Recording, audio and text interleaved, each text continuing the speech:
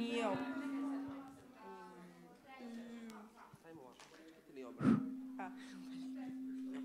Pa. E, ali mikrofon nije. Nije mikrofonija. Možemo da krenemo. Može. Dobro jutro svima. Ćao svima. Nisam čula. Dobro jutro svima. Još jednom, još jednom. Dobro jutro. Dobro jutro. Bar dan. Mi ćemo danas da vas provedemo kroz raspored. A, drago mi je što vas vidim u ovolikom broju. Dok se polako namještate, nema veze, Tamara ne mora ih požu- požurivati. A, dok se polako namještate, ovaj, sprovešćemo vas kroz današnji raspored. Aha, da, jeste lijepo spavali makar? Bosno? Ste spavali dobro? A? Može bolje. Ovaj, drago nam je što ste došli u velikom broju na konferenciju a, Zimnica. Mnogi od vas juče nisam video, tako da dobrodošli još jednom i za, za nove. Može jedan spontani aplauz. Sad će Ivana da vam kaže malo informacije što se tiče registracije, radionice i tako dalje. E, ovako, par obaveštenja. E, prvo obaveštenje i glavno jeste za registraciju. Da svi oni koji se nisu registrovali, ko- registrovali koji nisu platili, između programa i ručka će biti jedna pauza, tako da tu možete ići e, ovde izvan će biti registracija ili kod Izabele, ove dame lepe u žutom. A, tako da znate kod nje možete da obavite taj deo posla. A, još jedna stvar jesu radionice, prijava će biti ovde na zidu, tako da ko će se održati danas, tako da znate da se prijavite. I e, sad imamo još jedno obaveštenje što se tiče čišćenja i što ćemo zamoliti našeg Galeta da dođe ovde, da objasni čišćenje i kako funkcioniše čišćenje, pošto mi ne znamo, mi smo mladi. On ima ženu, tako da mora znači isto. Tako je, da, da naučit ćeš i ti to uskoro. Uskoro. ok, što se tiče ovaj, e, čišćenja, tamo gde su i radionice i raspored, postoji raspored grupa, ne samo čišćenje, koje pomažu u kuhinji i ovaj, koje će pomoći e, oko, naravno, oko sređivanja. Svi smo zaduženi za neki deo, tako da ovaj, pronađite broj svoje grupe i ovaj, nastavite tamo. Osoba koja vodi grupu otprilike zna kako šta treba da se radi. E, tako da ovaj, za ručak ćemo trebati e, grupu 5 i 6 koja će pomoći oko, ovaj, oko, oko sređivanja i oko ručka, tako da eto. Ok, ovaj, pratite tamo kad ste šta ste, nemoj da moramo da vas zovemo i da vas tražimo. Poslaćemo Beki, a on je ljut, sinoć nije spavao dobro. Tako da, evo. Hvala. Evo stiži Beograđani. Ui. Dobro jutro! Ajde, aplauz za Beograd. Ćao, Saćo. jesi sad ti za igre? A, posle upisivanja i to što treba da odradite, imat ćemo igre koje će voditi, evo tamo digle ruke, a, Tamara Turinski, kako to lepo zvuči, a? Kaže meni Gale, Tamara Veselinović, ja rekao, nije Veselinović, Turinski. A, posle igara ćemo imati slavljenje, a, tako da, nadam se, Za stavljanje aplauz. Aplauzu tim za slavljenje.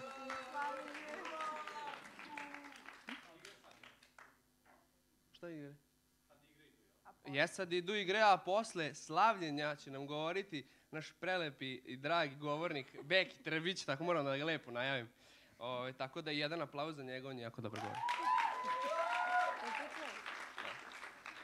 Sad ćemo se pomoliti za kraj i možemo počnemo Za sa kraj, programom. Pa za kraj našeg, za naš kraj. Naš, Kraj. pa naš kraj, ne vaš kraj.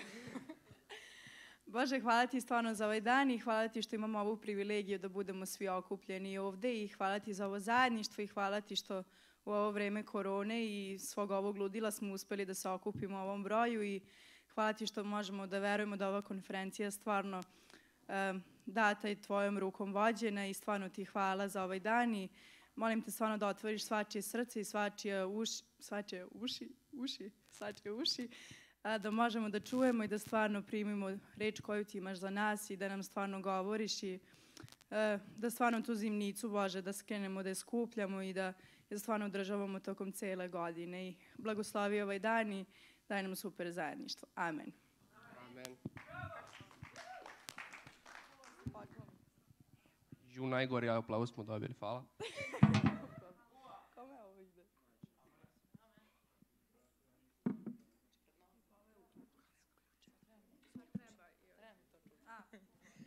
E. Dobro jutro i od mene. Um, e, i danas ćemo igrati dve igre. Uh, napredak za razliku od juče. Uh, idemo ovako, svi ustanete za početak. Uh, I dobila sam potvrdu od Galete da svi učestvuju, tako da oni koji misle da su vođe i da neće učestvovati moraju da učestvuju, žao mi je.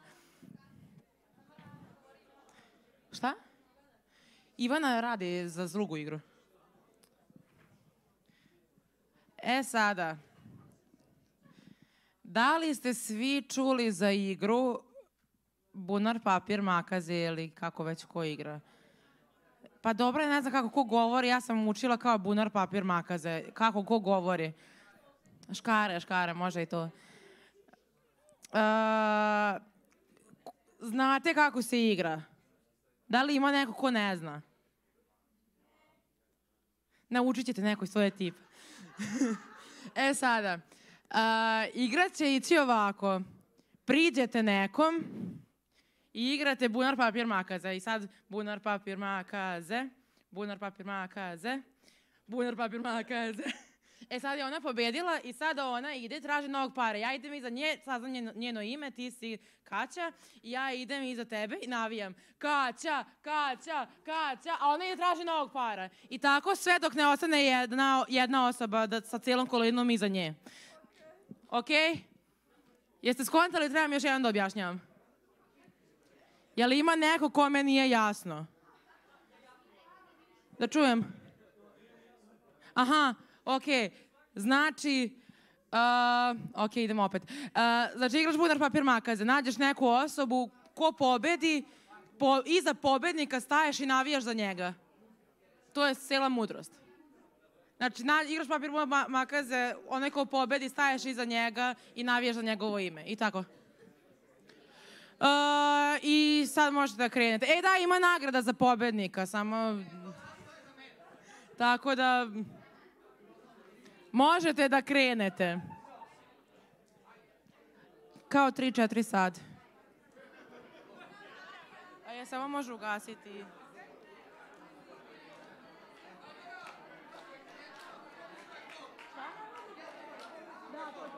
Znači, ako jednom pobediš, to je to.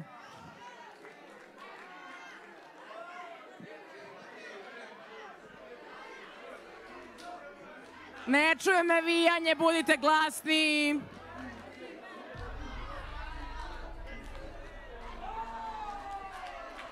Jeste uspeli?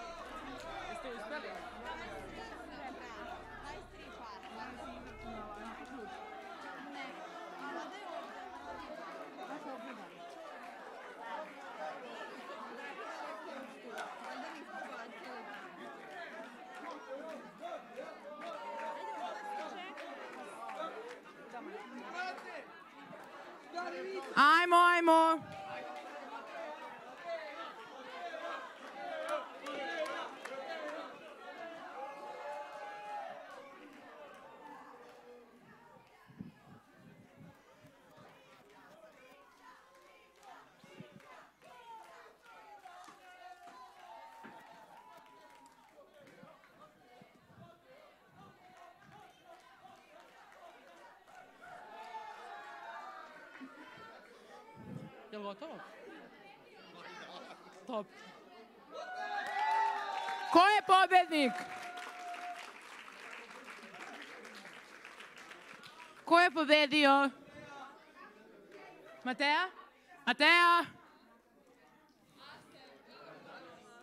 Eto. E sada.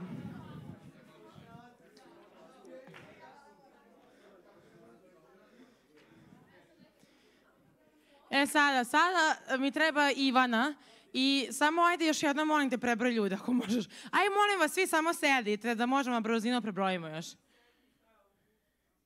Samo sedite svi. Ajde sad broj. Pauza. Nemoj molim te sad.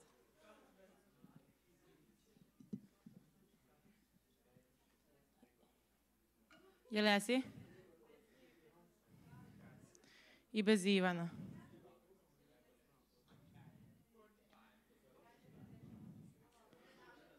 Jel dobro?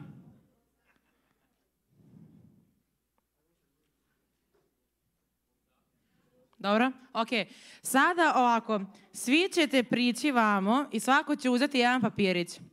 Na papiriću će vam pisati nešto.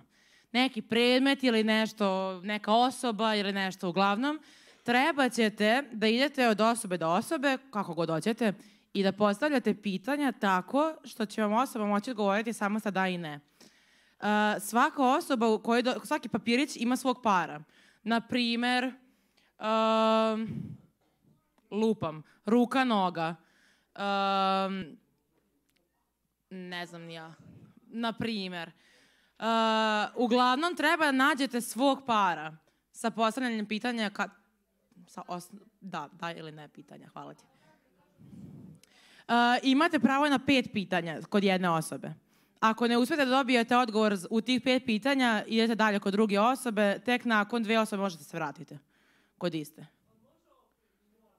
Može, nije problem jer sam ja pogubljena. Ok, znači, svako će uzeti papirić iz ove činije i pogledati ko je. Zatvori i ne da nikom drugom da vidi. Ja priđem kod Jelene i postavim pitanje da li si ti predmet, da li si ti osoba, da li si ti ne znam ni ja šta. Ona mi odgovara samo sa da i ne. Kada mi pet puta odgovori sa ne ili da sve jedno, ako mi odgovori pet puta da ja nisam sigurna da li je ona moj par, ja moram da idem dalje, ne mogu da se zaustavljam. Prva tri para koja nađu, koji se međusobno nađu, uh, pobeđuju. Možete doći kod mene. Ako mislite da ste našli svog para, dođite kod mene. Ne, ne, ne, nego dođite kod mene. Ako misliš da si našla para vas dvoje, dođite kod mene i pitate da li, da li je to to.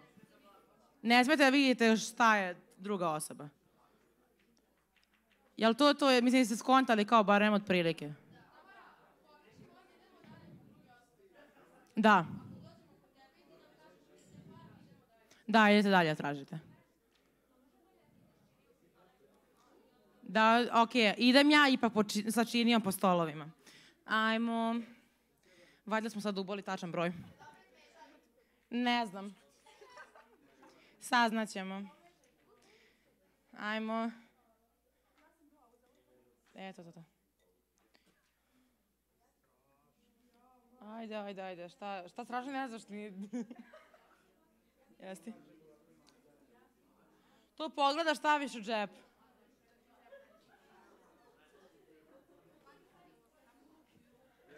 Jedan, jedan.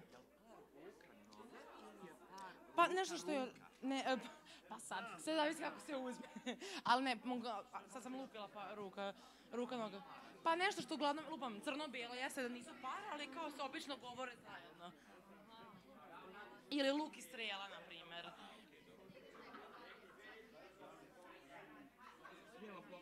Da, svako da sebe pogleda. Evo ga dalje.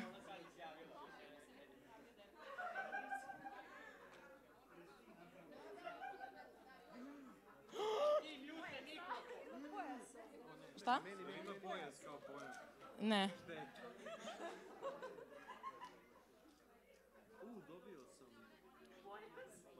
Baš, baš. Dobro. Si probavi samo. Jesi? A uvijek si neko drugi nadir. Jeste Ivana, jeste provjerili onaj ključ katanac?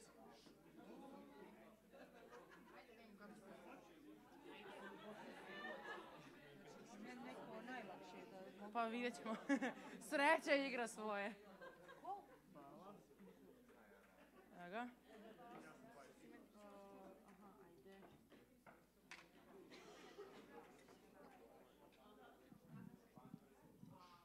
Ajde, još malo ostalo.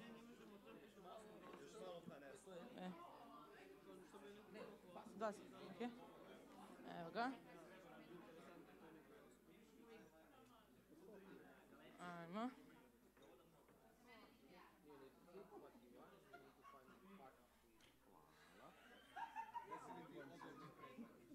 Čekaj, ne kreći još. Čalo, varanje. Ovaj tim opet para.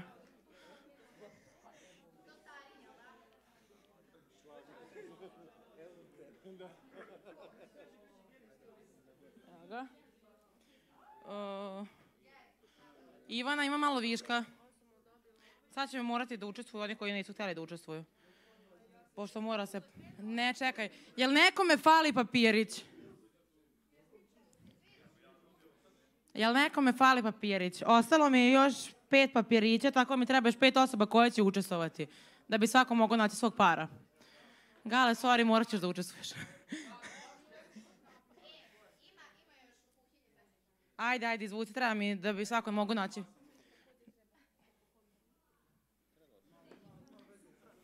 Ivana, ne moraš ti? Uzet ću se ja. Ja se izvinjavam, ali mora se. mora se. I sad će nam doći ovo dvoje. Dva. Sad će doći Nikola i... E, ajde, ajde, samo brzo. Evo, stiže, stiže, daj, daj jedan. I koliko ćeš ljudi fali? Ja, ja ću da E, super, eto, tamo.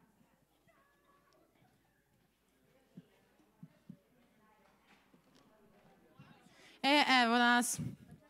Sad će doći, sad će doći. Objašnjam vas. Tu ću ostaviti.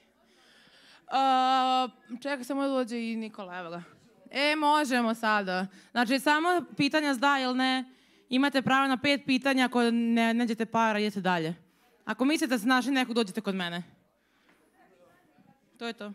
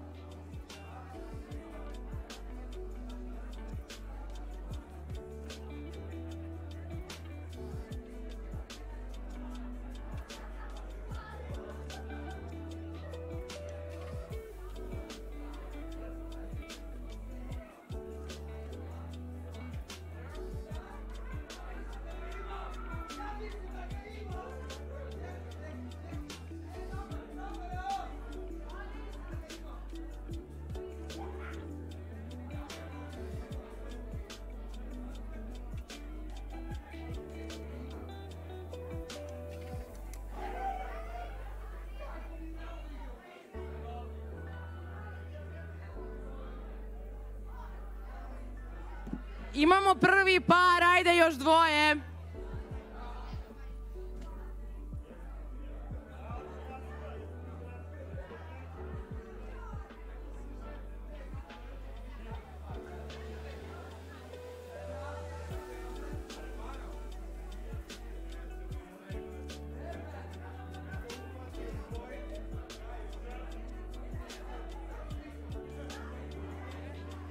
Dobili smo i drugi par.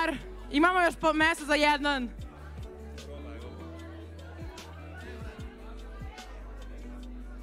Dobro. Ne.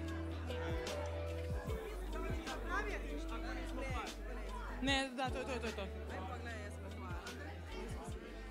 Dobro. Ne. A šta si ti da vidim? Pizza. A, znači, ja sam mislila da ide rum kola, štok kola. A, ne. I sviju sam pitala da li se... Da, da. Ne bi pomislila na picu. A mi smo, mi smo bukvalno onu jednu pisali parovi kao, trebalo mi je 60 parova, i kao da rezam. Molim! Da vidimo. Da. Imamo treći par, to je to. Da, ajde donesi.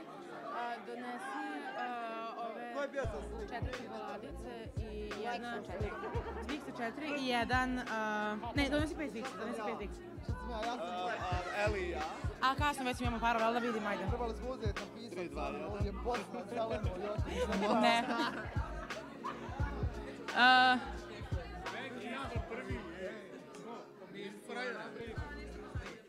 Šta bi ti? Evo, krem i katanac, brate.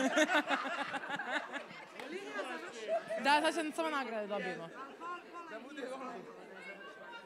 Aha, e, igra je gotova, ne znam da li ste to skontali ili ne, ali kao imamo parove. da. Možete kod Ivane ubaciti papiriće. Znači da znaš nemaš više nagrada. Evo ga. Izvoli. Evo ga. Tako je. To je to. Lepo je surađivati sa vama. Ništa, ništa. I drugi put, i drugi put. Sljedeći put dobijam ja. A, možete sesti nazad na svoje mesto i sada prepuštam mikrofon nekome. Ko će mikrofon? Evo Gale. Ne vidim Dadu Ivanu, ali sada ovaj, imamo slavljenje. Ja ću pozvati tim za slavljenje da dođe napred. I oni će nas povesti u slavljenju. Malo smo se ovaj, zabavili kroz ove igre. A sada ovaj, ćemo malo da, da, da se zagrejemo i onom i zabavimo duhovnom ovaj, svetu, tako da ajde da malo ovaj, eh, i slavimo Boga. Kako je to sinoć krenulo, nisam vam dozvolio da ostanete u ovaj, stolovima, tako da dođite ovde napred i tu ćemo slaviti Boga, da se ne krijemo iza naših stolova, nego ćemo ovde slaviti Boga ovaj, svi zajedno. Tako da nema sedenja, nema da se zavlačite po ćoškovima, dođite napred da slavimo Boga, svi zajedno. Geri, ti preuzmi.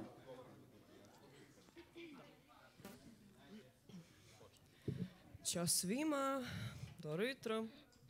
Imamo tehničkih problema, klasika, ali dobro, počet ćemo sa, nadam se, svima poznatom pesmom koju smo ovaj, mi kao tim napisali. I ja, ja, ja jako cenim. Ja je volim. A ništa je naša, nego je dobra. možete, ovaj, Gale voli da kaže kada imamo omladinski, da možete slaviti Boga na način na koji to vi želite. Sad, da li je to stanje, da li je sedenje, da li je pevanje, da li je igranje, kako god, to je sve validno i okej. Ali ja bih da vas pozovem da izađete iz zone komfora. Gde god da je to. Možda je vaša zona komfora dizanje ruke, možda je pevanje, možda je molitva. Što god da je, Bog voli da vidi da se mi trudimo i da želimo da budemo njegov prijatelj, da želimo dublje da uđemo u odnos sa njim. Tako da ovog jutra odemo jedan korak dalje sa Bogom.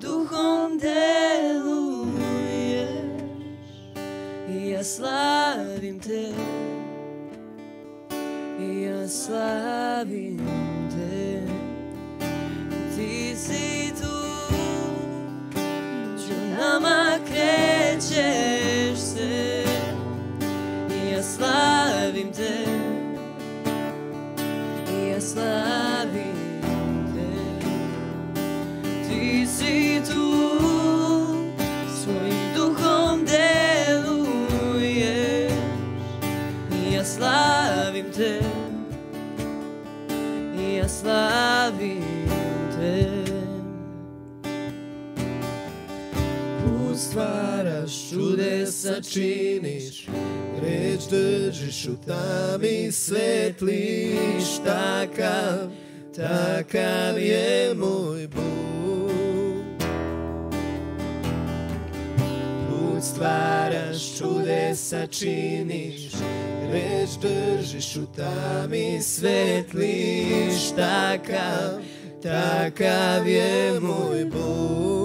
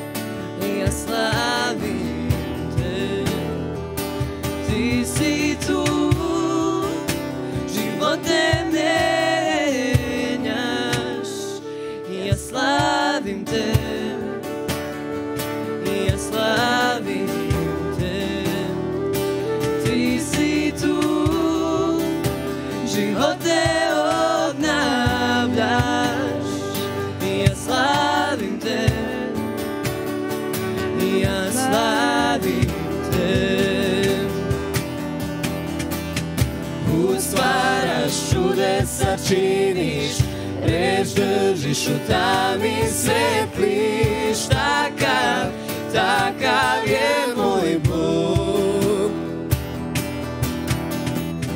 Put stvaraš, čudesa činiš Reč držiš u tami svetliš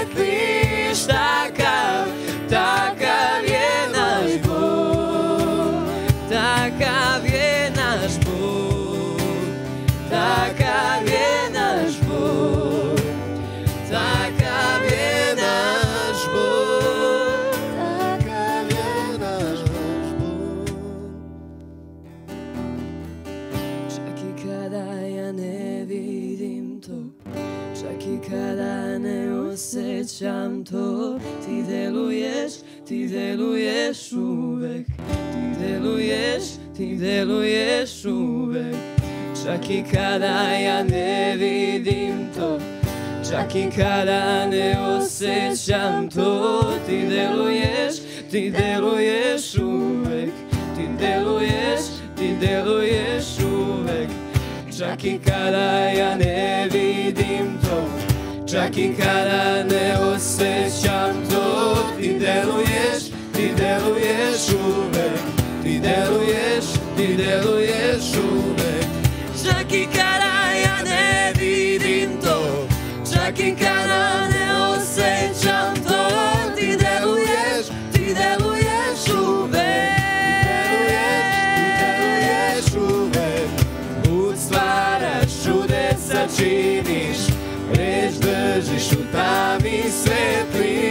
svetliš Takav, takav je naš Bog.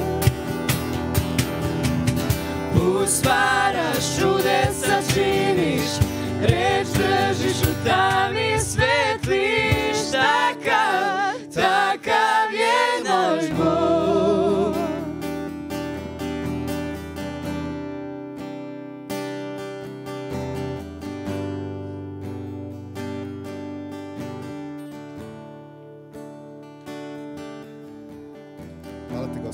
čak kad ne vidimo da ti deluješ, gospode, što možemo i tada znati da si ti tu. Hvala ti, gospode, što ti nisi samo Bog emocija, gospode, nego što ti si tu u našim životima, čak i ako mi to ne osetimo u tom momentu, gospode. Ali molim te takođe da ti, ako sad danas, ako nam danas ujutru teško da se fokusiramo na tebe, molim te da, da nam pomažeš da možemo da uživamo u tvojoj prisutnosti. Hvala, što ti to, hvala ti što ti nas voliš i hvala ti što si tu sa nama, gospode. I molim te da nam daš da možemo da uživamo u tvojoj prisutnosti. Molim te da daš da možemo da se utišamo pred tvojim prisutnošću. Gospode, govori nam danas tokom cele konferencije, a i tokom slavljine, gospode. Ne znam za koga ovo reč, mislim za mene je, ali za nekog drugog. Um, Bogu ti ne trebaš savršen, jer da si savršen ti bi bio Bog.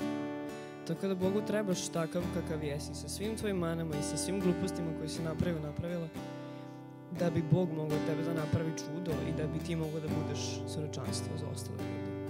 Tako da, kogod ima problem kao ja, da bude perfekcionista do toga da, do te mere da stvarno više nije zdravo, to Bogu ne treba. I Bog to ne traži. Nego Bogu treba tvoja greška da bi on mogao te podigne da kaže ovo je za moju slavu.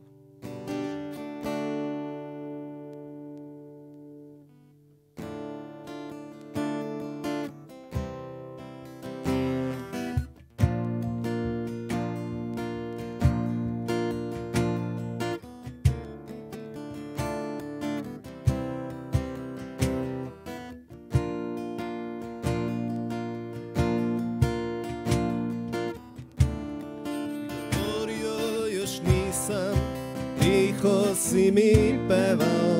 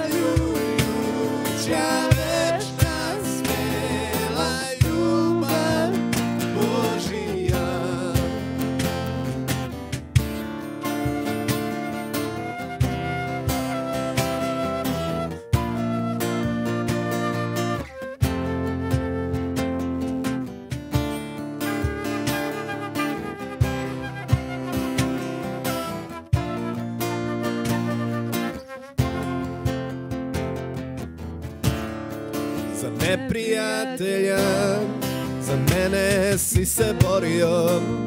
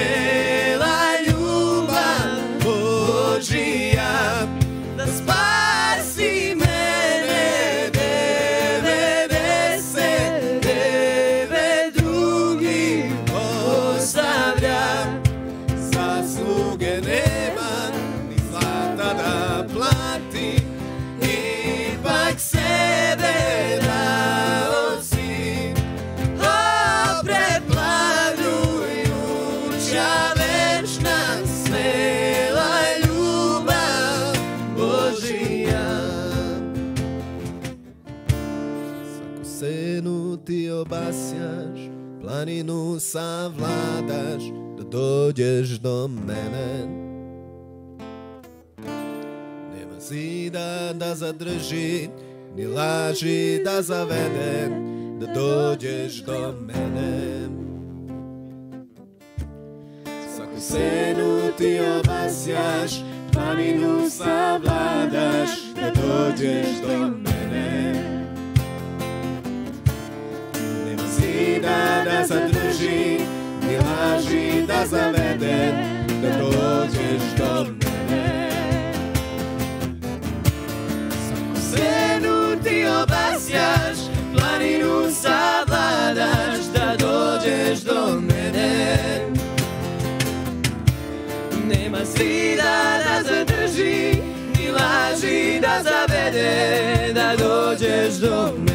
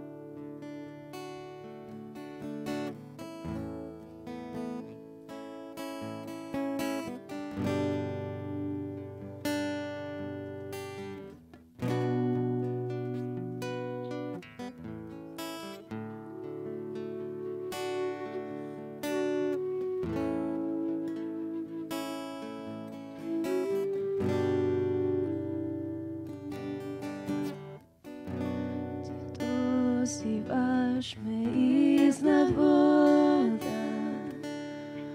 Nepoznato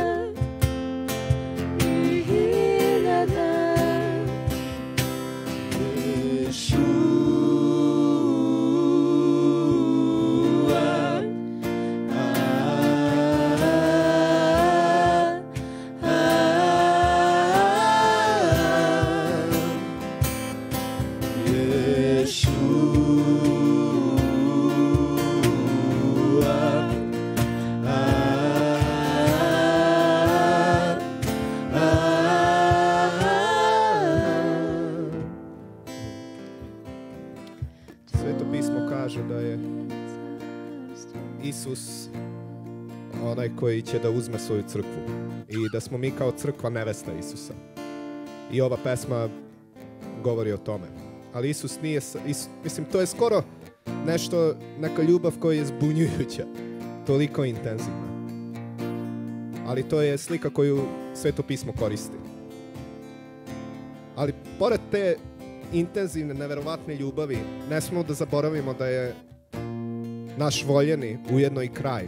I ujedno i on koji je vladar celog univerzuma. I on je onaj čija je vlast, on je ona čija je carstvo, on je onaj koji će se vratiti.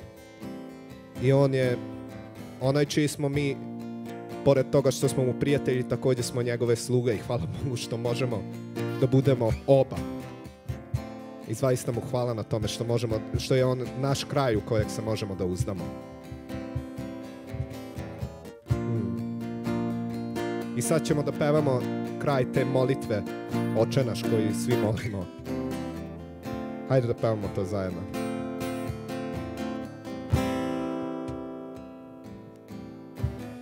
Tvoje je carstvo, Tvoja je sila, Tvoja je slava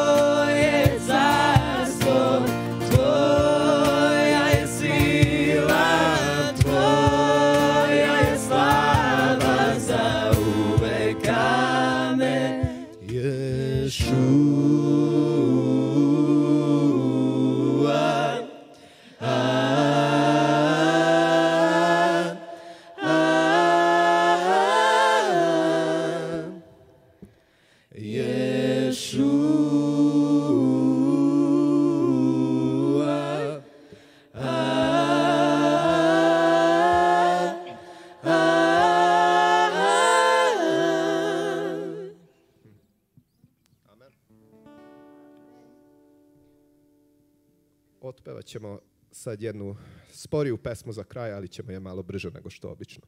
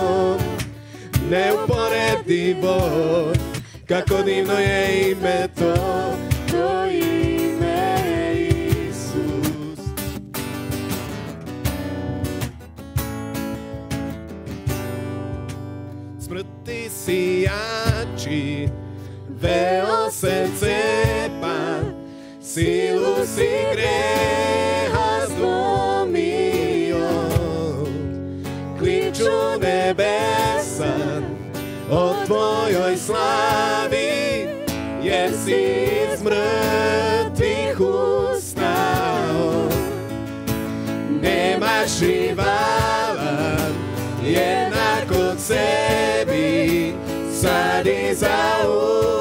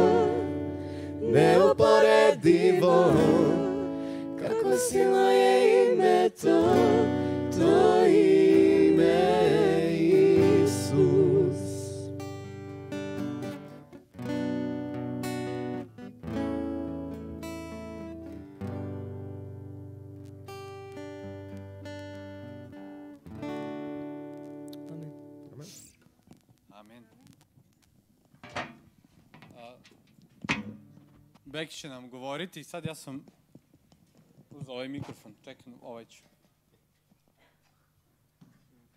Ok, sad će nam Beki govoriti.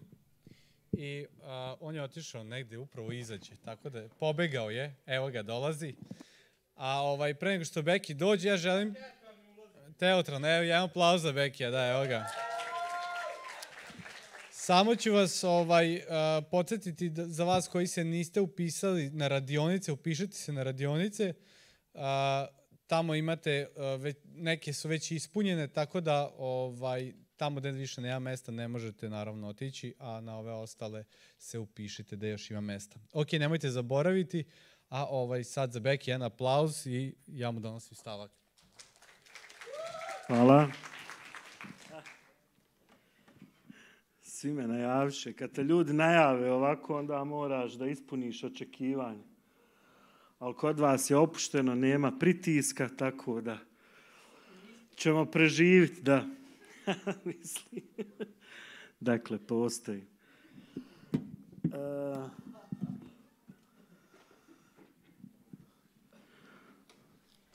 Ok, za vas koji me ne znate, ja se zovem Damir Trbić, a dobio sam to, taj nadimak Beki sasvim slučajno, pošto u Sarajevu, ako ste rođeni, ja dolazim inače iz Sarajeva, iz Bosne i Hercegovine, rođen sam u jednoj državi, odrastao sam u drugoj, ostar vjerovatno u nekoj trećoj, e, zbog ovih naših nesretnih ratova i svega što se dešava.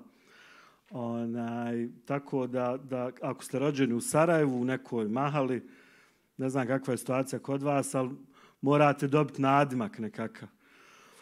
E, Nadim se obično u Sarajevu daju tako što ako imaš nos, onda si nos, nosati, ako si malo krupni, onda si debeli, i ako, je, ako si malo glavati, onda te zovu pista ili glava ili...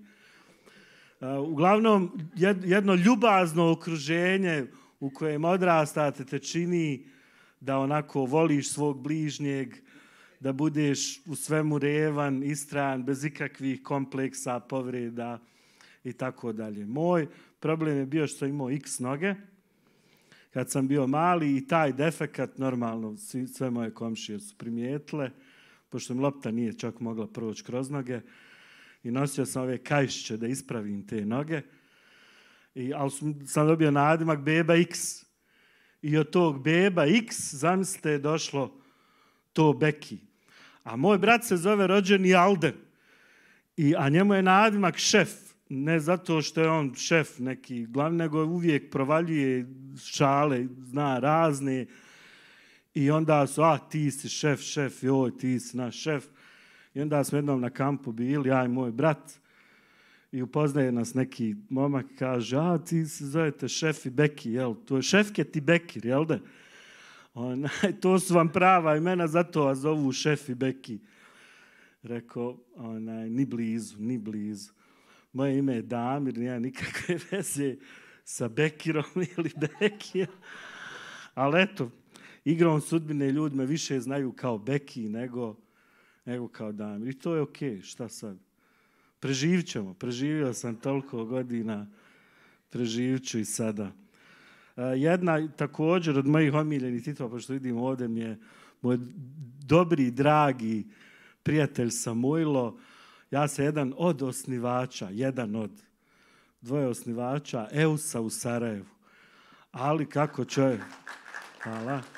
Ali kako čovjek odraste i preraste neke stvari, pokrene se dalje u životu, onaj, došao sam, došao sam prvo po- postao sam pastor u Sanskom mostu i to je jedan grad u e, sjeverozapadnom dijelu Bosne i Hercegovine. E onda sam, nakon što sam e, pet godina bio pastor, odlučio sam da budem omladinski pastor, jer sam valjda zaslužio to pravo da se, da se nekako raščinim, jel, da se spustim iz onoga što si pastor, da budeš neki omladinski, omladinski vođa.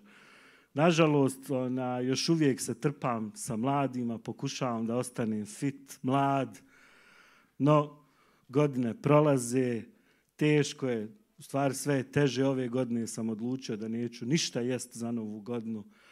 Međutim, toliko sam se najao da već pet dana imam obstipaciju od ovih od ovih božićnih posebno i novogodišnjih svih ovaj delicija koje smo jeli onaj eh, posebno kod nas u sad ja živim u federaciji ovaj baš izbor mesnih proizvoda nije tako onaj širok ali, ali uspije da se nađe tako da ona da, da još uvijek još uvijek donio sam odluku i danas je tema ta da neću ništa jest, međutim, ja i dalje jedem. Donio sam raz. Jeste vi donijeli razne nekakve odluke u životu i na kraju niste izdržali pritisku ili nečem. Podlegnete, doneseš odluku da budeš, da ćeš više tog i tog raditi, da ćeš više, ne znam, učiti, da ćeš više ovaj, vježbat, da ćeš manje jest i onda se takve stvari ne dese u životu. Ali šta ako ove godine odlučimo nešto, nešto malo drugačije? Ne šta ćemo raditi, nego kakvi ćemo postati? Šta ako promijenimo način našeg razmišljanja i do, kažemo sebi, e, hajde da ne razmišljam u, u toj kategoriji kakav, uh, šta, šta ću da promijenim u svome radu ili onome što radim, nego šta ću da promijenim, da radim na tome kakav ja želim da postanem ili kakav ja ne želim da postanem. Da, da samo malo skrenemo pažnju sa načina razmišljanja, jer očigledno da taj način razmišljanja koji mi imamo i koji nam neprijatelj često servira, nam i pomogne da padnemo i ošćamo se zbog toga loše u svom životu. I vjerovatno ste se puno puta osjećali loše, bar ja jesam, zato što nikako ne mogu da promijenim neke stvari u svom životu. Ali šta ako odlučimo da ove godine budemo hrabri, da budemo odgovorni, da budemo darežljivi, da budemo ponizni. Ne šta ću raditi ili neću raditi, nego kakva osoba ja želim da postanem. Kakva osoba ti želiš da postaneš? Koja karakterna osobina, s kojom karakternom osobinom želiš da te ljudi primijete, da, da te opisuju, da kad čuju tvoje ime ili kad razgovaraju o tebi, koja je to karakterna osobina koju bi volili, po kojoj bi volili da te ljudi pamte, da te poznaju. Si vjerni, on je ponizni. Ne šta ćeš konkretno, konkretno da radiš. E, Isus je došao na ovaj svijet e, da ne da, da promijeni obrazce našeg da, da, promije, da ne, ne da ne da nam kaže šta je ispravno, što, na neki način da ih, da nam kaže šta je ispravno i šta nije ispravno. Ali je došao da nas izove da promijenimo stil i način našeg života.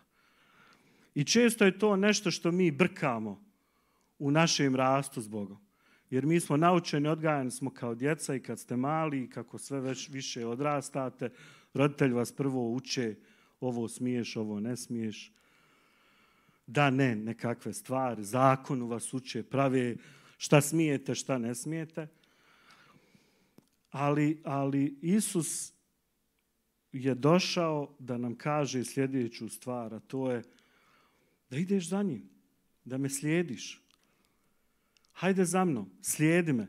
I u Matejevom evanđelju, kad Matej sam opisuje kako je njega Isus pozvao da, da, da ide za njim, kako su se upoznali, on, on kaže ovako, to vam je Matej 9.9. Kad Isus pođe odatle dalje, opazi čovjeka imenom Mateja, gdje sjedi u carinarnici, te mu reče, hajde za mnom. On usta i pođe za njim.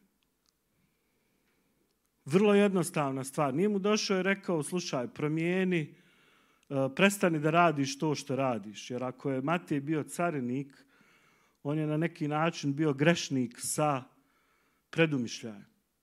Kao, znate, onaj, e, neko ko tačno zna šta je loše, a ipak to radi. U čemu je Matej bio loš i na kraju krajeva to što je bilo loše, on uopšte nije mario, zatim ipak je to radio. Jel, možemo malo i ovako razgovarati, a? Bio je carinik, šta to znači? Gledao, pregledao pasoše. Nije, šta, šta znači što je bio carinik? Ubirao je carinarnicu, ubirao je porez, radio je za vlast. Koja vlast je tad bila u Izraelu? Ko je bio na vlasti? Njemci? Egipćani? Ko?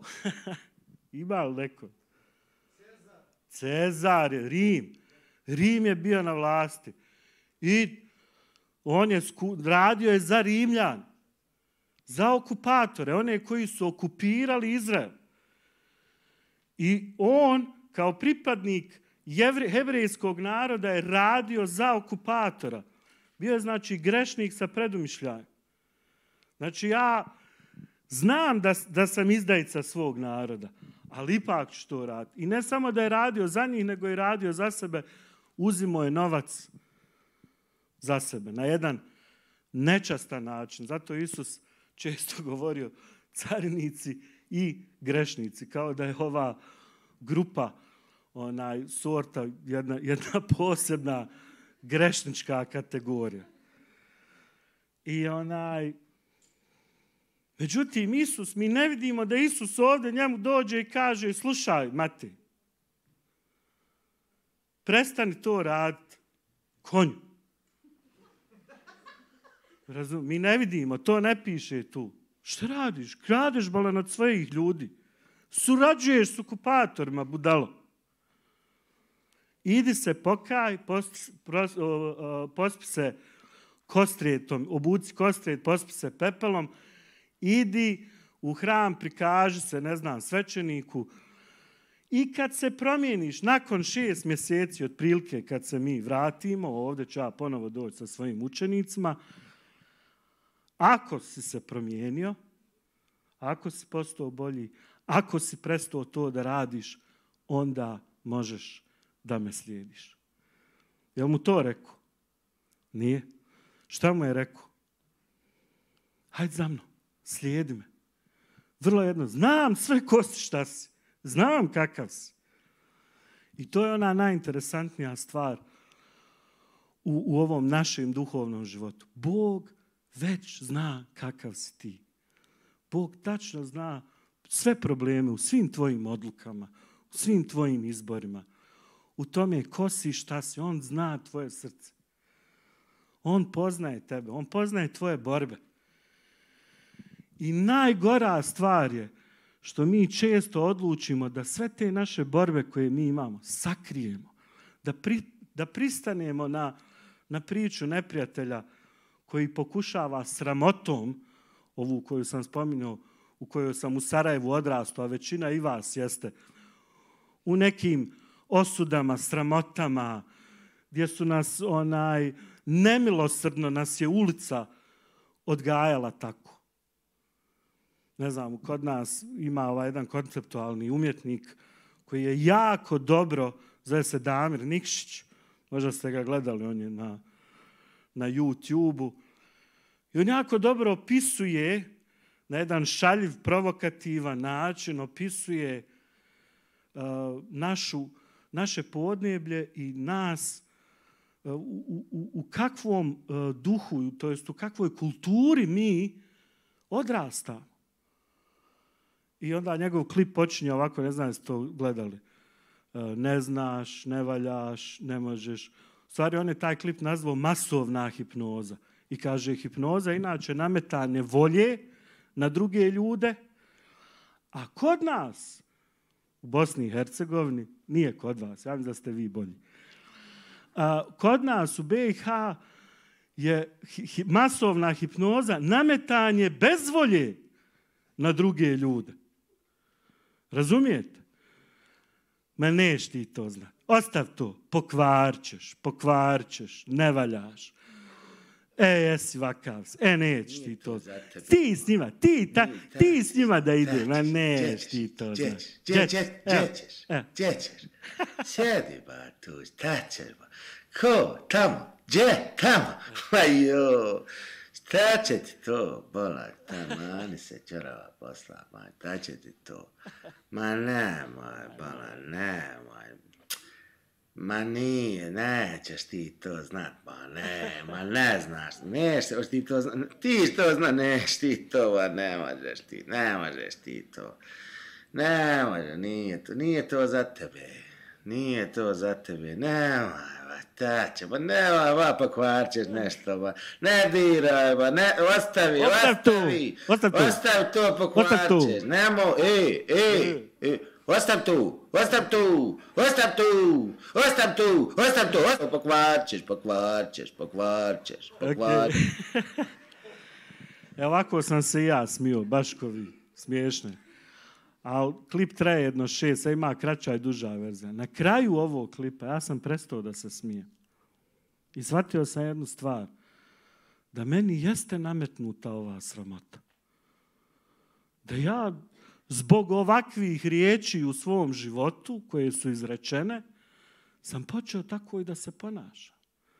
Da ne smijem ništa da uradim, da ne smijem da se usudim, da ne smijem da donesem neku odluku, jer ko zna pokvaršu, imam strahove od donošenja nekih važnih odluka. I šta ti ja znam?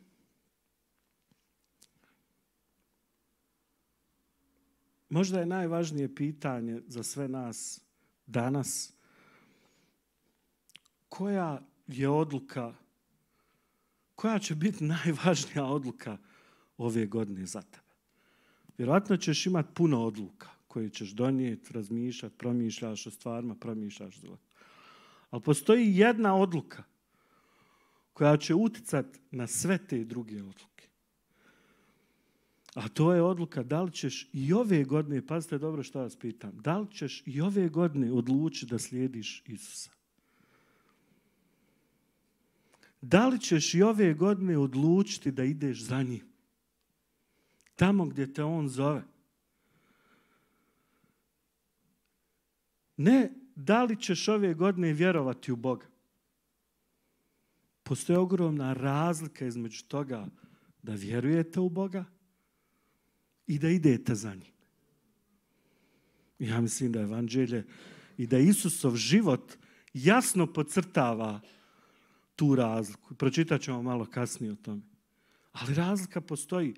No međutim, šta se desi? U crkvama se često propovijeda, mislim da smo spomenuli ovaj, najpopularniji stih Ivan Jovan 3.16 ili Ivan 3.16 koji kaže jer je Bog tako ljubio svijet da je dao svog jedinorođenog sina da nijedan koji vjeruje u njega i onda se naglasak stavi na vjeruje. Dovoljno je, kaže, samo da vjeruješ. I kad povjeruješ, to je dobro. Međutim, ja ne znam je li to tako. Ja nisam baš siguran da je to tako. Ok, dobro je vjerovat. Ali to nije sve. To nije suština priče. To nije kraj priče. Ne samo vjerovati, nego i hodat za njih. Jer kako uh, Isusov brat Jakov kaže u svojoj poslanci, uh, i đavli vjeruju da Bog postoji, ali se tresu od straha. Nije pojenta samo vjerovati. Mi, mi ne smijemo našu vjeru graditi na vjerovanju. Jer da, kad pitate 90% Sarajlija, ne znam, evo, u vašem slučaju, Novosađana ili ljudi u Srbiji, u regionu cijelom, da li vjeruju u Boga? Šta će vam reći? 90%. Ja sam stari vjernik. Sve sami vjernici. Sve sami vjernici, a proli smo krvi i krvi. Svašta se nešto dešavalo ovdje, a sve vjernici. A onda komši tamo, nek crkne krava i šta te ja znam.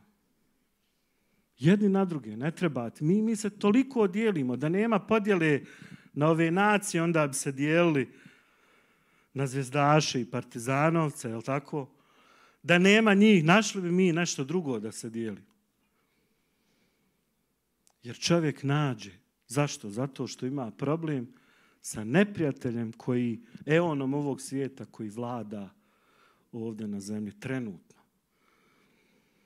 I kojem je dopušteno čak da, da učini neke stvari. Ali, kao što Isus kaže Petru, Petre, iako je đavo dobio dopuštenje da te rešeta kovšencu, ja sam molio da tvoja vjera ne malakši. Da nastaviš da me slijediš. Ne, jer vjerovati u mene je ispravno samo ako ideš za mnom. Da li ćeš ove godine, a tek je počela ova 22. godine, slijediti, odlučiti da ideš za Isusom. Ne da li vjeruješ u njega. U stvari, da li vjeruješ u njega će se pokazati onoliko koliko ideš za njim. I kako ideš za njim? Jesi li, postaješ li hrabriji? Postaješ li odgovorniji? Preuzimaš li konačno odgovornost za svoje postupke? Ili Božje je da prašta, ja odu da griješim, radit ću šta god hoću, a Bog nek prašta. To je njegov posao.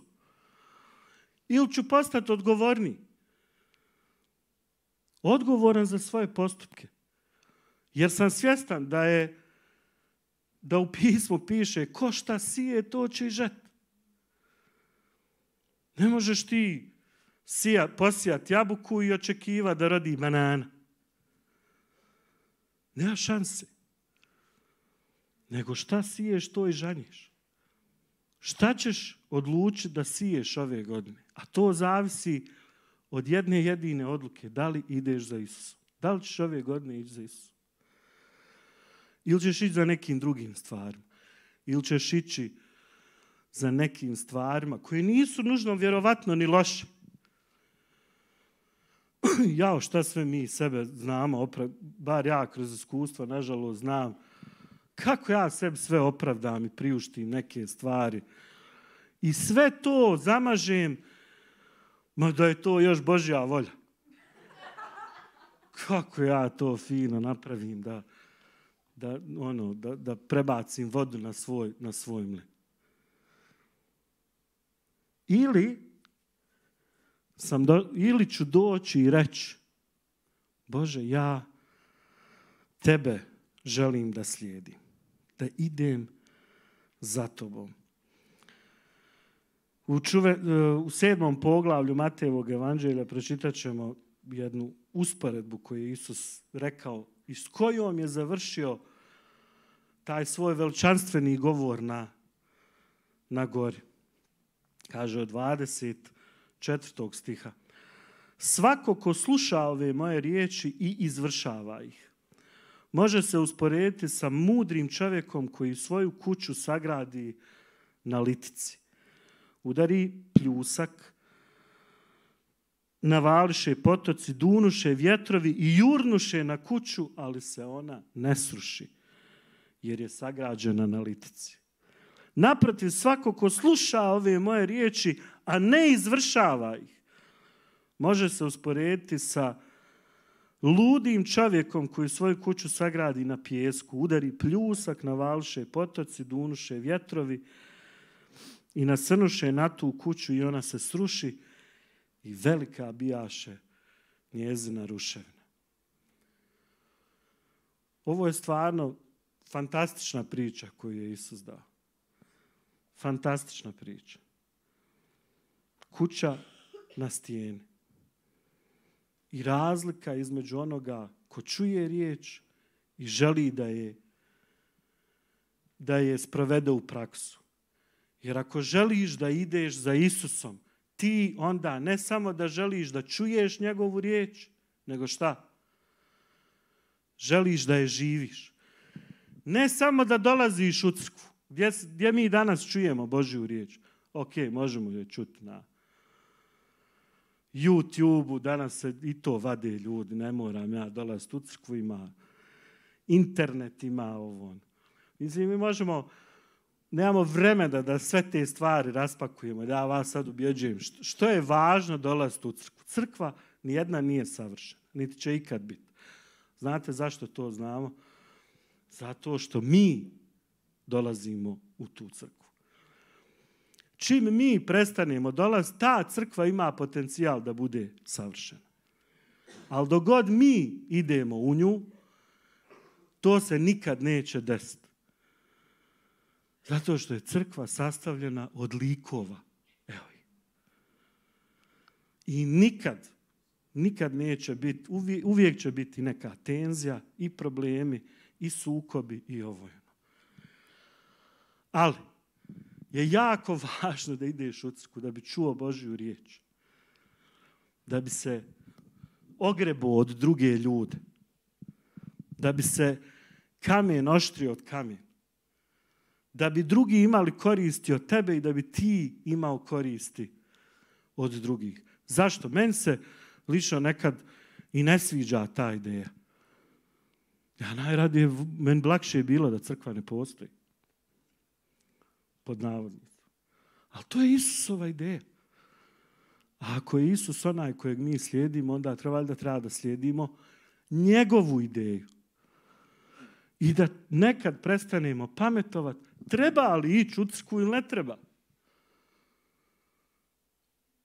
Znači, ako hoćeš da ideš za Isusom, da slijediš njega, a on ti kaže gdje se dvoje, troje sastanu, ja sam tu s njima. Ja želim da se vi sastajete, da ja budem među vama. I želim, i to je mjesto gdje ti slušaš Božju riječ, možda čuješ, ali ne samo to. Da li ti tu riječ kad je čuješ, da li je onda živiš? Slijediti Isusa, ići za njim znači kad se završi mjesto sastanka, kad čujemo Božju riječ na bilo koji način da je čujemo, da li to živimo? Da li to živimo kad nas niko ne vidi? Da li to živimo kad nas niko, kad mislimo da nas niko ne vidi? Jer neko nas uvijek gleda. Samo je pojenta da ti misliš da te niko ne vidi. Onda smo smjeli, onda smo nekako se pona, znamo ponašati drugačije. Ali hoću li ove godine preuzeti stvarnu odgovornost, postati hrabriji, darežljiviji, ponizniji. Kakva osoba ja želim postati? A to ovisi od toga da li ćeš da id- za kim ćeš ići ove godine. Za kim ćeš ići? Isusov poziv nije vjerujte u mene.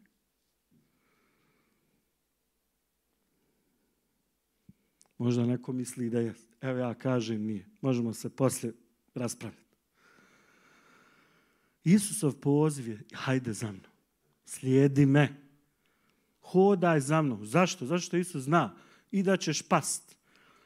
I da ćeš ustat. I da ćeš opet past. Isusov poziv slijedi me je bio i, i, i njegov, e, e, njegova moralna ljestvica je bila toliko visoka da ga na kraju niko nije slijedio. Svi su prestali da idu za njim. Na krst, kad je došao do krsta, svi su prestali da idu za njim. Onda su se kleli da ga ne poznaju. Petar je i proklinjao i psovao i govorio ružan, ja ne znam ko je ovaj čovjek. A išao je za njim. Međutim, priča se tu ne završava. Mi znamo da i oni koji su prestali da idu za njim su ponovo počeli da idu za njim. I kad su postali hrabri, jer se duh sveti spustio na njih, onda su na neki način promijenili svijet. I uticali na hiljade i hiljade ljudi, milijone i generacije koje će doći poslije da danas mi imamo ono što imamo ovdje. Ali poziv se nije promijenio. Poziv ostaje isti. Da li ideš za mnom? Slijediš li me? Da li ćeš ove godine da ideš za Isusom ili ćeš da ideš za nekim stvarima koje je ok, ne protive se. Što mi, znate, mi razmišljamo u tim kategorijama. Da li se nešto protivi našoj vjeri ili se ne protivi? I ok, možemo mi o tom razmišljati. Ali možda je vrijeme da postaviš pitanje drugačije, da razmišljaš o drugačijim kategorijama. A to je da kažeš ja Bože želim da ugodim tebi. Ja želim Bože da se naučiš konačno molit kako te Isus učio da moli svoje učenike. Budi, Bože, budi volja tvoja. Neka dođe kraljevstvo tvoje. Nek bude volja tvoja. Da, da želiš da budeš da, da budeš dio onoga što Bog radi u tvome, u tvome domenu. Sve ove odluke ovise o toj jednoj odluci.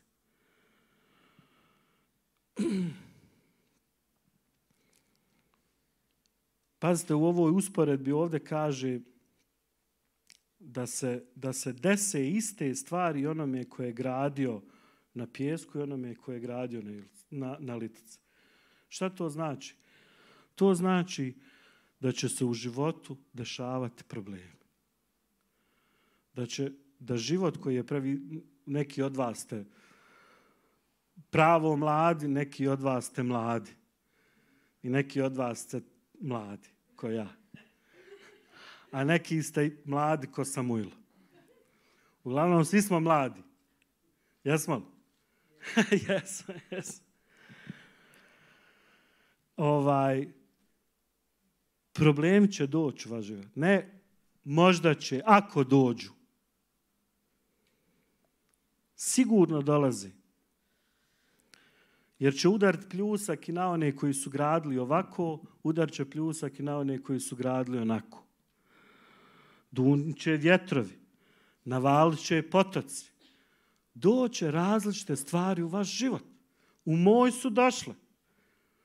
I nekad razmišljam u svojoj glavi, ima li nešto da me nije mimo išlo? Nekad se plaši. Nekad razmišljam o tome, vidi, ako se Bog hvalio s Jobom, pa mu se desilo sve ono, nemoj Bože, molim te se sa mnom hvali.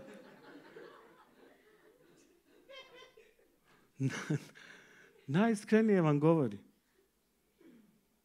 Ja ne znam šta va, život donosi, šta će biti u vašem životu. Ja sam preživio rat, bio sam ranjen u ratu, ona sam imao tešku saobraćajnu nesreću. Ne znam, imam brata koji je ratni vojni invalid, ima, ima li nešto da me može mimo ići? Samo još neki tsunami da me, da me odnese. Ali ja ne znam, možda će i odnijeti. Šta god da se desi, tvoja budućnost ovisi onome na čemu si ti gradio. Ko je zaglavni kamen tvoga vjerovanja, tvoje kuće, tvoje građevine? Za kim ti ideš? I šta god da se desi, ti ostaješ. Na bilo kakav način. Nekad to ne bude onako kako smo mi zamislili, ali nekad nekad bude. Ali al to je stvar sada naše zrelosti, kako mi percipiramo vjeru. Ako, ako nas Isus uči da molimo da dođe kraljstvo njegovo i bude njegova volja, onda valjda trebamo da skontamo, čekaj. U mom hodu s Bogom je ipak važnija njegova volja nego moje, moje želje i moji prohtjev. Sabereš dva plus dva, jest jednako, ovo nisam siguran sad koliko. Četiri, ja. Evo ispričat ću vam jednu priču kratko. Rekao sam da sam imao ovaj, saobraćajnu nesreću i jedna od komplikacija, imao sam četiri velike komplikacije. Jedna od komplikacija je bila ta da se traheja u mome grlu, to vam je ovaj, traheja je dušik, dušik, jel? da se suzla. Pošto sam bio stavljen na ovaj respirator prije ove ere respiratora, ja sam to već iskusio. I onaj, iskinuli su me i onda taj ožiljak, rupa koja je bila na dušiku, je zarasla i zarasla je unutra. Ožiljci, vjerovatno znate, imate unutrašnje i vanjske ožiljke. Gdje god se porežete, imate vanjski ožiljak, ali imate i nešto što ne vidite unutra. I ti debeli ožiljci su narasli u mom dušiku. I toliko su narasli da se moj dušik suzio. Žesla se stenoza, trahe, suženje puta i onda sam počeo da se guši. I nakon što sam 12 sati hodao da ustanove šta mi je, konačno su skontali, otvorili su me opet da, da mogu da dišem. I kako su me izrezali sve ovde, u jednom trenutku ovaj, ugradili su mi ponovo tu kanilu, zašli me, ja sam se probudio i onda mi je profesor ovaj rekao, vidi, nisam odmah mogao da ti ugranim stet, da, imao se suženje, morali smo taj dio dušika odsjeć, ali ćeš tek za 15 dana imati novu operaciju. Gdje ćemo mi probati da ti stavimo neki stent koji će da tu taj ožiljak oblikuje kako treba. Znate kako sam se ja ošću? Je, nova operacija, super, jedva čekam. Baš divno, krasno. Nisam čovjek kad primi takve vijesti, posebno kad neko kaže tek za 15 dana ćeš imati novu operaciju za koju neće znati ni kako će se završiti, ni šta će biti. E onda krenu molitve, razmišljanja. Onda do, to, to su vam ovi pljuskovi, na dunuše vjetrovi.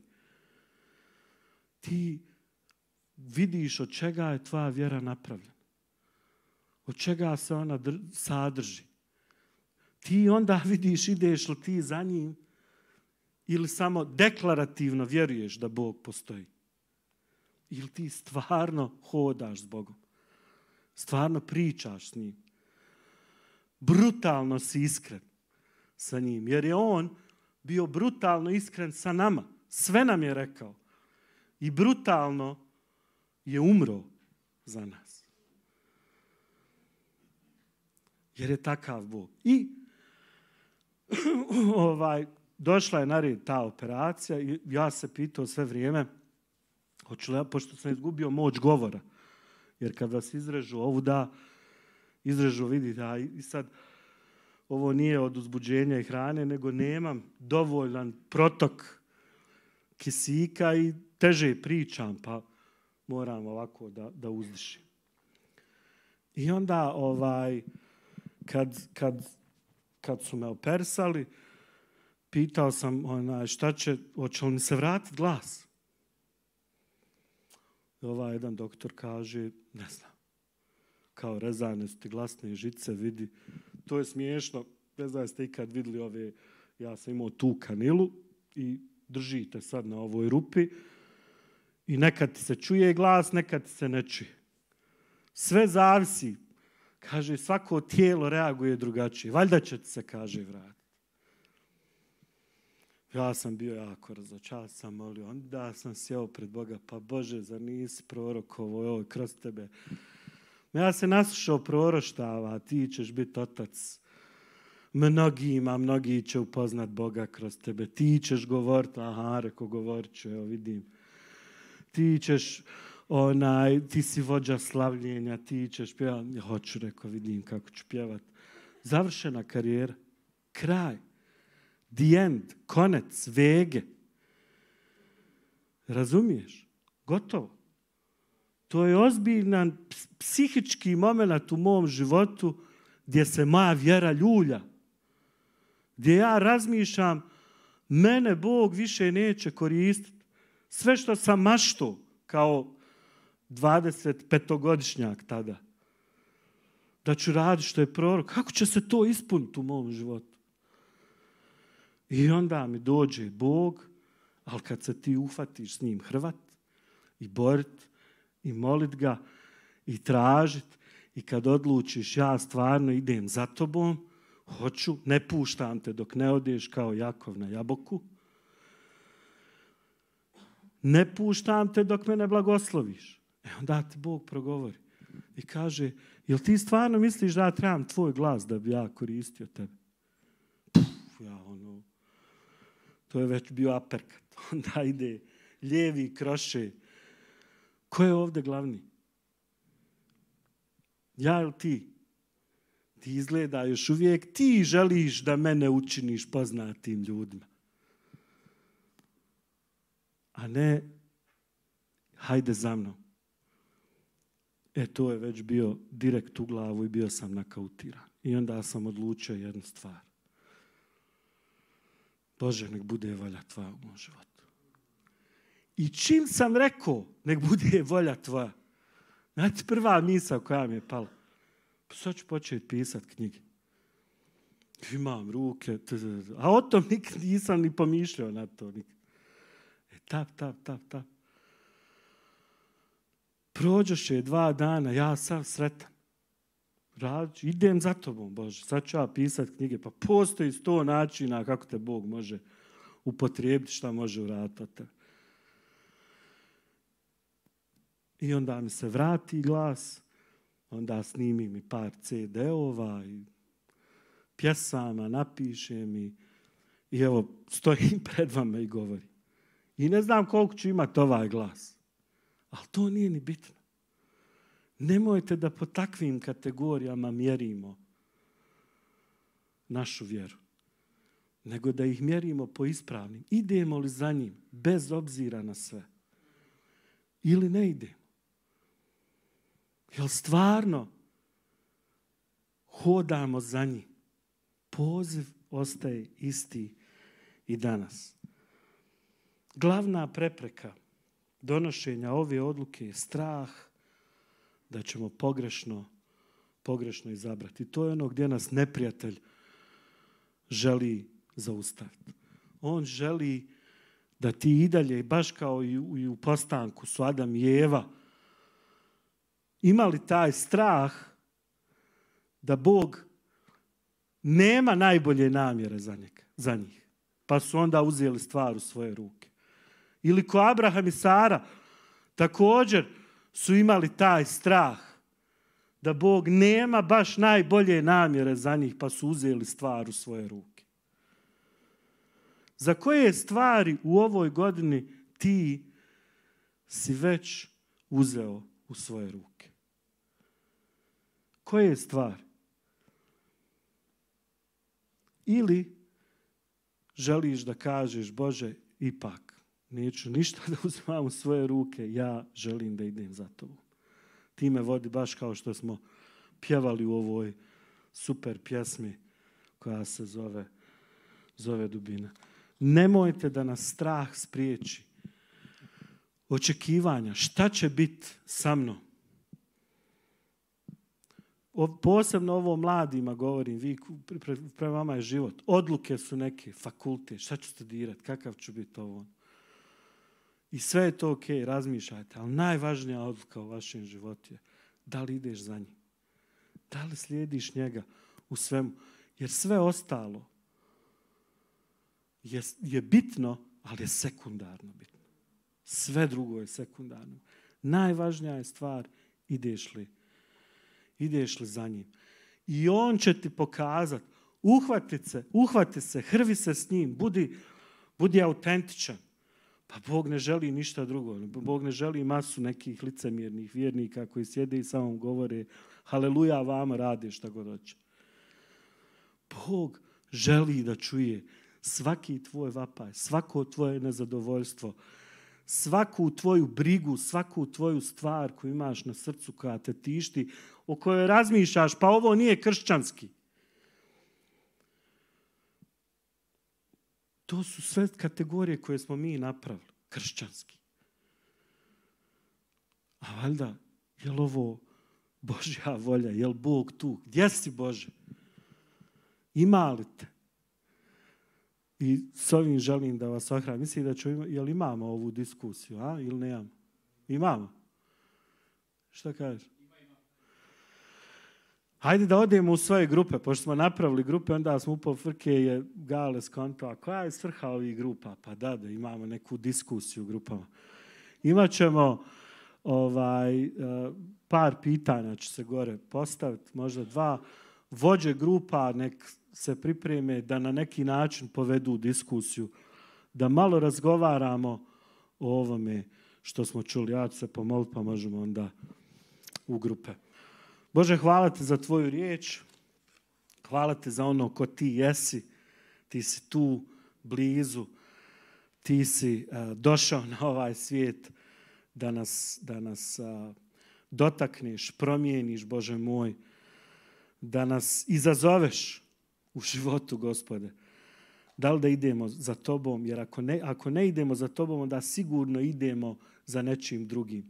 Ako naše srce nije postavljeno da ide za tobom, ono je postavljeno da ide za nečim drugim. I gospode, hvala ti Bože moj što nas vraćaš, pozivaš, dozivaš, gospode, što si ti vjeran, gospode. Čak i onda kad smo mi nevjerni, ti ostaješ vjeran. Bože, hvala ti za to. Hvala ti da nas ljubiš u svim našim slabostima, svim našim izazovima, kušnjama, Bože, tvoja ljubav ostaje ista. Bože, nek nas tvoja ljubav izazove, baš kao što u Rimljanima piše, da nas tvoja dobrota dovodi k obraćenju. To kako si ti dobar prema nama na slomi gdje mi se predajemo i kažemo, Bože, ja želim tebe, ja želim da idem za tobom. I, i Isuse, u tvome sveto imenu te molim da nam daš mudrosti, da i ove godine najvažnija stvar bude da idemo za tobom.